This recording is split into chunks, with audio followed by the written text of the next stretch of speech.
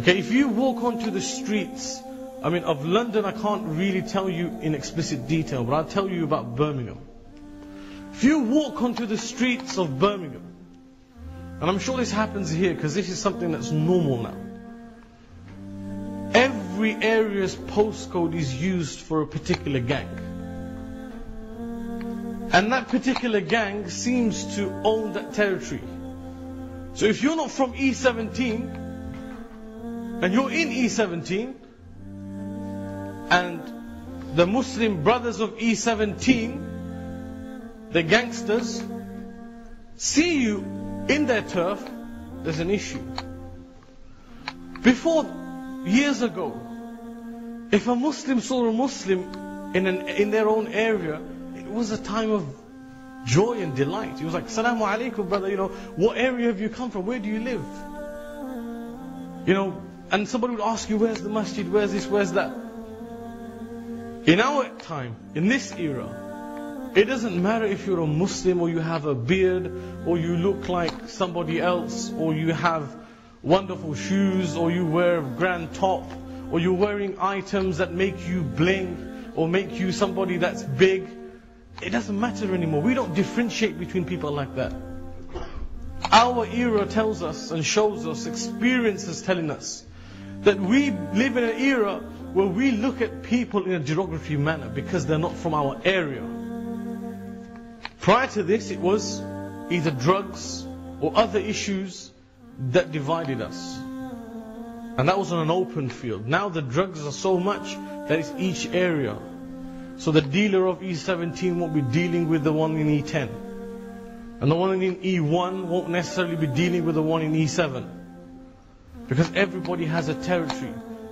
And you know, this sort of behavior, this sort of want to be a gangster is what I'm here to talk about today. Do you feel like you have achieved anything? And believe me, some of these guys were the biggest gangsters in Birmingham. Some of these guys, when they would walk the streets, people would make salam. Look who's here. And they'd have all these wonderful gangster names. Crack, Yak, MG. What crew are you from? I'm from the Spartans. What crew are you from? It reminds me of a story. Once I was teaching in Maktab years ago, and there was this one little child. He had a little confrontation. He had a little confrontation with another child, and they were arguing. And he said, "What? You going to hit me?" So that child goes to him, "No, I'm going to let you off." He goes, "You touch me, I'll tell my uncle on you." So he goes, "Yeah, what's your uncle going to do?" He goes, "Don't you know who my uncle is? He's from the MMK." And I'm sitting there listening to this child, and he's like, "MMK," and I'm like, "What the hell's an MMK?" So I, once they finished their little thing, I called both of them. I said, what's MMK? He goes, Multi-Mafia Muslim Crew. I was like, what? I said, you're missing the M. He goes, yeah, that one's, that's a hidden one. That's like, we don't tell people about that. Goes, if they ask us, would you say MMK because it sounds short? You're not going to MMMK. Sounds better, it's snappy. I go, okay, so what does your uncle do? He goes, oh, he drives an X5. And he just goes around chilling all day, you know, and if anybody messes about, then he's there to sort it out. So, wow, what a life.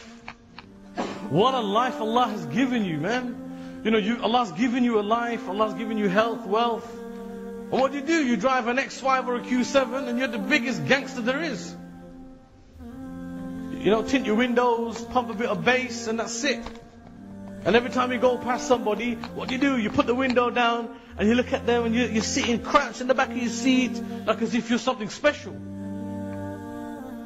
Now, honestly, it's reality. Now, have a look at our streets when you're driving up and down them. If you're not one of them yourself, who's doing it? It's everybody's second cousin and first cousin and brother and uncle and this friend and that friend. And most of the time, if it's not yourself, you're either sitting in that car with them. Because we start to respect these people. We start to respect these people and look at them as if they're something in society. And we start to idolize these people. So somebody has a fight in the street, and everybody's on their toes. Oh, do you heard? This guy knocked him out. He was sick fight. And then we go home and talk about, oh, he's hard, man, mashallah, you know, he pumps this much amount of iron, so he's like this, he's like that. Oh, and what a punch it was, you know, it was a hook, and it was just one only, and he knocked him out. So what now? He's a don. Right? So he's now a don. So what do we do? Whenever a fight, oh, we better call him. And if you got his, if you've got his number in your mobile phone, then you're a gangster too. Because he's one phone call away. So somebody comes, or you walk into a shop and you think, yeah, yeah, you think you're back. All right, safe. Put my phone out. Yeah. And you call him up. And this is the lifestyle we live.